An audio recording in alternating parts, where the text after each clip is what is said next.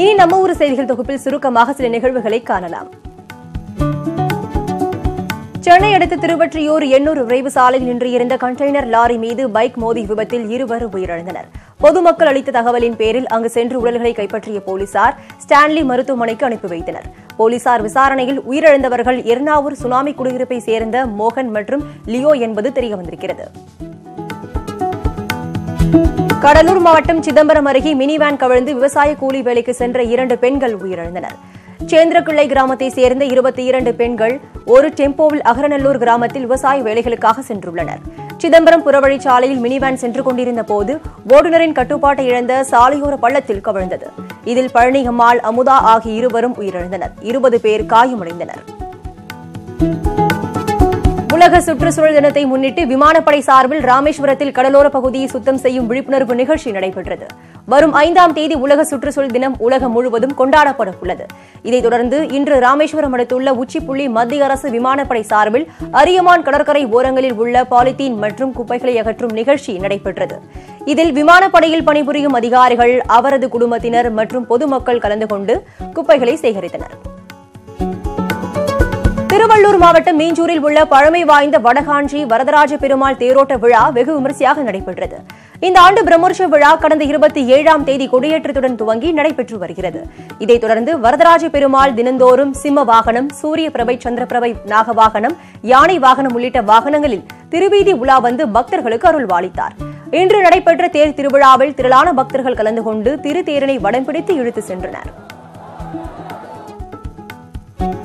திருவள்ளூர் மாவட்டம் திருத்தணி அடுத்த வேஞ்சேரி கிராமத்தில் முறையாக குடிநீர் விநியோகம் செய்யாததை கண்டித்து இருநூறுக்கும் மேற்பட்ட பெண்கள் காலி குடங்களுடன் சாலை மறியலில் ஈடுபட்டனர். முறையாக குடிநீர் வழங்க கோரி திருத்தணி நாகலாபுரம் செல்லும் சாலையில் அரசு பேருந்தை சிறைப்பிடித்து மறியல் போராட்டத்தில் ஈடுபட்டனர். சம்பவ இடத்திற்கு சென்ற வட்டாட்சியர் நரசிம்மன் ஊராட்சி ஒன்றிய அலுவலர் மற்றும் போலீசார் தண்ணீர் வழங்க நடவடிக்கை எடுக்கப்படும் என உறுதியளித்ததை அடுத்து பொதுமக்கள் கலைந்து சென்றனர். தூத்துக்குடி மாவட்டம் பேய்குளத்தில் சாலை அமைக்கும் பணியை விரைந்து முடிக்க வேண்டும் என அப்பகுதி மக்கள் கோரிக்கை விடுத்துள்ளனர். பேய்குளத்தில் இருந்து ஆசிர்வாதபுரம் வரை உள்ள குண்டும் குழியுமான சாலையை சீரமைக்கும் பணிகள் கடந்த மாதம் தொடங்கப்பட்டது. சாலை அமைக்கும் பணி முழுமையாக முடியாமல் கல் மட்டும் கொட்டப்பட்டுள்ளதால் பள்ளி மாணவர்கள் கடுமையாக பாதிக்கப்பட்டுள்ளனர். இதனால் பேய்குளம் செல்லும் சாலையை தவிர்த்து பழனியப்பபுரம் ஆசிர்வாதபுரம் என மூன்று கிலோமீட்டர் சுற்றி பள்ளிக்கு செல்லும் நிலை உள்ளதாகவும் அவர்கள் குற்றம் சாட்டியுள்ளனர்.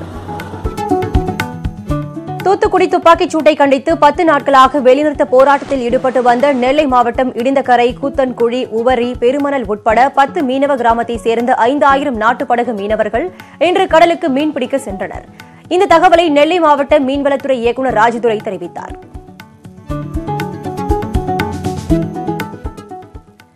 நம்ம ஊர் செய்திகளை தொடர்ந்து அடுத்த செய்திகளை பார்ப்போம்.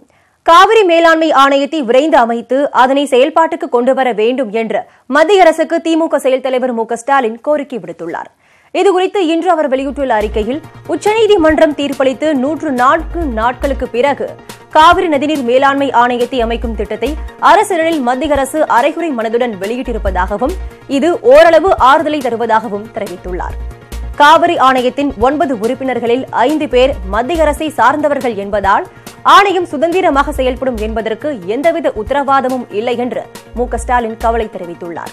இந்த ஆணையம் அமைக்கும் திட்டத்தை அரசிதழில் வெளியிட்டிருப்பது தமிழக மக்களுக்கு கிடைத்த முதல்நிலை வெற்றி என்றாலும் மேட்டூர் அணையில் இருந்து வரும் பனிரெண்டாம் தேதி தண்ணீர் திறந்துவிட்டால் ஓரளவுக்காவது மனநிறைவை ஏற்படுத்தும் என்று அவர் தெரிவித்துள்ளார். எனவே தலைவர் உறுப்பினர்கள் கொண்ட காவிரி நதிநீர் மேலாண்மை ஆணையத்தை உடனடியாக அமைத்து செயல்பாட்டுக்கு கொண்டுவர வேண்டும் என்று மு ஸ்டாலின் கேட்டுக் கொண்டுள்ளார் வடகொரிய அதிபர் கிம் ஜாங் உன் உடனான சந்திப்பு திட்டமிட்டபடி ஜூன் பனிரெண்டாம் தேதி சிங்கப்பூரில் நடைபெறும் என அமெரிக்க அதிபர் டொனால்டு ட்ரம்ப் தெரிவித்துள்ளார். வடகொரியாவின் அணு ஆயுத சோதனை தொடர்பாக அமெரிக்க அதிபர் டொனால்டு ட்ரம்ப் மற்றும் வடகொரிய அதிபர் கிம் ஜாங் உன் இடையேயான பேச்சுவார்த்தை நடைபெற வாய்ப்பில்லை என அண்மையில் தகவல் பரவியது. எனினும் இதனை டொனால்டு ட்ரம்ப் மறுத்து வந்தார். இந்த நிலையில் கிம் ஜாங் உன்னின் வலதுகரம் என சொல்லப்படும் கிம் யாங் சோல் ட்ரம்ப்பை அமெரிக்காவில் சந்தித்து பேச்சுவார்த்தை நடத்தினார். அப்போது கிம் ஜாங் உன் எழுதிய கடிதத்தை அவர் டிரம்பிடம் கொடுத்துள்ளார். இதனையடுத்து திட்டமிட்டபடி ஜூன் பனிரெண்டாம் தேதி சிங்கப்பூரில் கிம் ஜாங் உன்னுடனான சந்திப்பு நடைபெறும் என ட்ரம்ப் தெரிவித்துள்ளார். இதுகுறித்து பேசிய ட்ரம்ப் கிம் ஜாங் உன் எழுதிய கடிதம் சுவாரஸ்யமாக இருந்ததாக குறிப்பிட்டிருந்தார். எனினும் கடிதத்தில் எழுதியிருந்தவைகளை பற்றி அவர் குறிப்பிடவில்லை.